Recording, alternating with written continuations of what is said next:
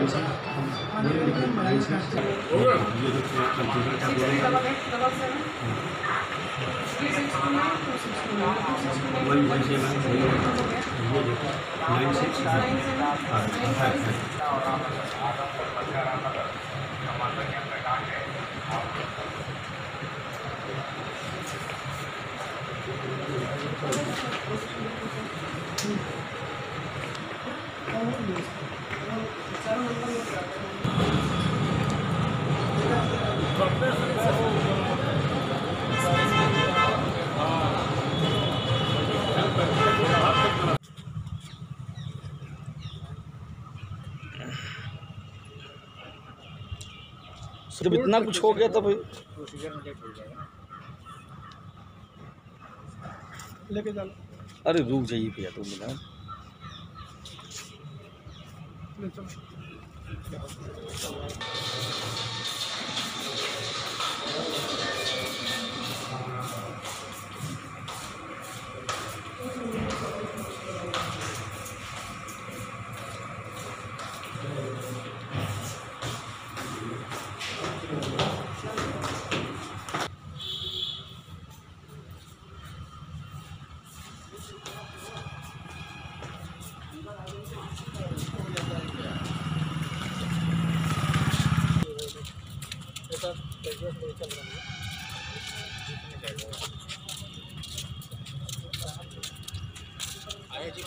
हाँ?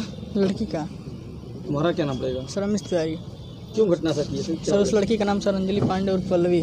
हाँ। सर वो लड़की मेरे साथ रिलेशनशिप में थी हाँ। लेकिन सर वो मुझसे प्यार नहीं करती थी मुझसे शादी करने के लिए दबाव देती थी।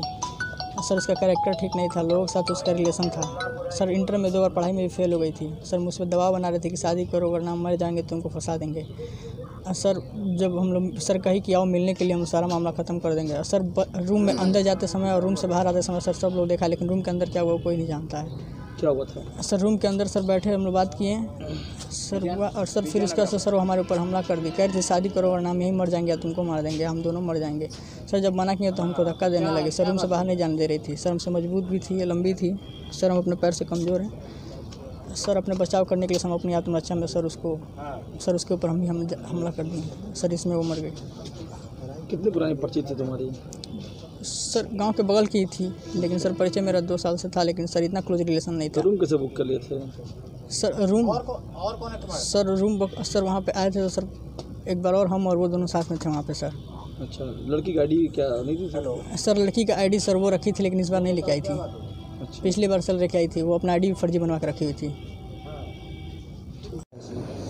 26 तारीख को थाना सिगरा के अर्जुन पैलेस होटल में एक युवती की लाश मिली थी। प्रथम दृष्टया ही देखने से लगा था कि ये हत्या का प्रकरण है। उसमें तुरंत ही फ़ील्ड यूनिट को बुलाया गया और हमने सारे साइंटिफिक एविडेंस वहाँ से कलेक्ट किया जो भी था। इसके बाद कुछ हम लोगों ने सर्विलांस के माध्यम से डिटेक्ट किया होटल के जो अभिलेख थे उनको खंगाला गया। तो धीरे धीरे मुझे बहुत मुश्किल हुई उसमें, फिर युवती की शिनाख्त हुई। उसके आधार पर फिर डेवलप हुई कहानी। हमारी दो टीमें लगातार देवरिया में रन करती रहीं और लगातार प्रयास हुआ अभी की गिरफ्तारी का।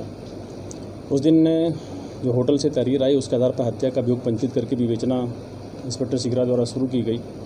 उसी क्रम में लगातार लगे स्पष्ट हुआ कि इस घटना में शामिल अमीश तिवारी जो जिसके नाम से वो कमरा बुक भी था और वो एक दिन पहले आकर के वहाँ पे रुका हुआ था शाम को।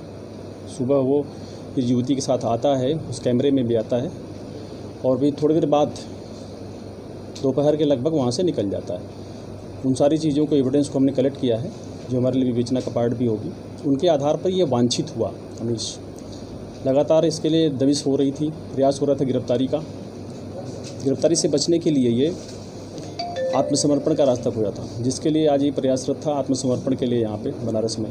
सूचना पर इसको गिरफ़्तार किया गया। आज गिरफ्तारी के बाद जब इससे पूछताछ की गई घटना के बारे में। तो इसने बताया कि युवती से इसका संबंध काफ़ी दिन से था। कई बार इनकी मुलाकात हुई थी और युवती इस पर शादी का दबाव बना रही थी और ये शादी करना नहीं चाहता था। और उस दबाव से ही ये परेशान होकर के इसने ये रास्ता अख्तियार किया कि उसकी हत्या कर दिया। जब पीएम रिपोर्ट देखी गई तो उसमें स्टेबुलेशन था उससे और ही पुष्ट हो गया था कि गला दबा के हत्या की गई थी जिसकी इसने पुष्टि की है। उस पूरे प्रकरण में जो देखा गया कुछ चूक चूक यद्यपि ये आईडी से हुआ था वहाँ पर रुका हुआ था।